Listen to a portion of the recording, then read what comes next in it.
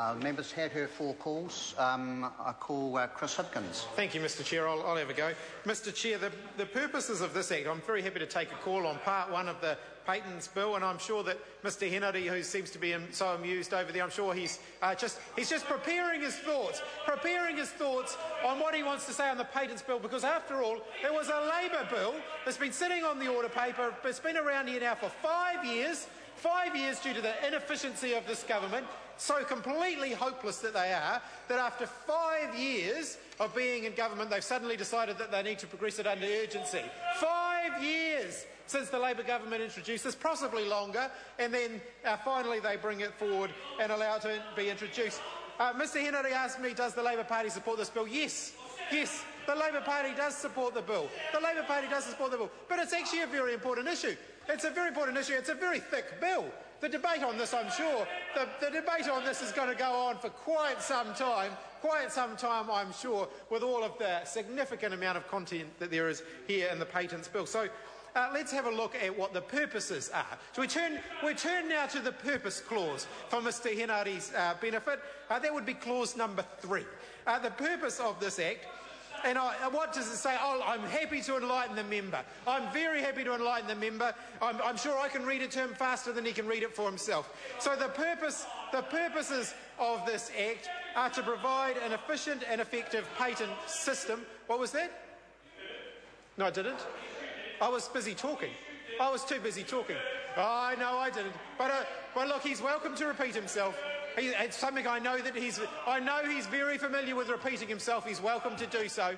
So the purpose of the Patents Bill is to promote, oh sorry, to provide an efficient and effective patent system that promotes innovation and economic growth while providing an appropriate balance between the interests of inventors and patent owners and the interests of society as a whole. That's incredibly important. It's a very important balancing act. It's an important balancing act for Mr Henery. I know that balancing is something that he has a great deal of difficulty with these days, very, very great deal of difficulty. Complies complies with New Zealand's international obligations. Well, that's not something that Mr Henery is at all interested in, complying with New Zealand's international obligations, but that is something, that is something that I think is important. Now, if we move to, if we move to A, if we move to A now, 3A, it says that uh, uh, amongst the purposes of the, the, bill, it's about ensuring that a patent is granted for an invention only in appropriate circumstances by establishing appropriate criteria for the granting of a patent and providing for procedures that allow the validity of the patent to be tested. What was that?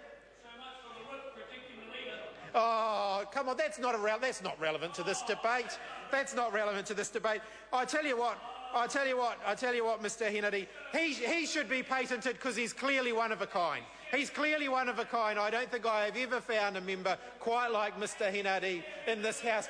We should be quite grateful for that. We should patent, we should patent Mr Henery and then make sure that there is a clear restriction that no more are to be produced, that no more are to be produced after, after that particular point in time.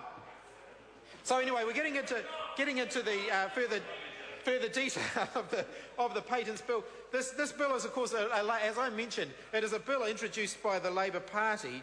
and we will support it unless our supplementary order paper is voted down, unless our supplementary order paper is voted down, uh, because it can be added to the long list of improvements uh, to the business, business and regulatory environment that were made by the previous Labor government. Because, of course, we were actually interested in uh, improving the business regulatory environment rather than this government here, who don't seem to be. Uh, they talked about cutting red tape a lot. Actually, the only red tape that they're interested in cutting is the stuff that their mates want to get rid of. They're not actually interested in protecting consumers and protecting New Zealanders.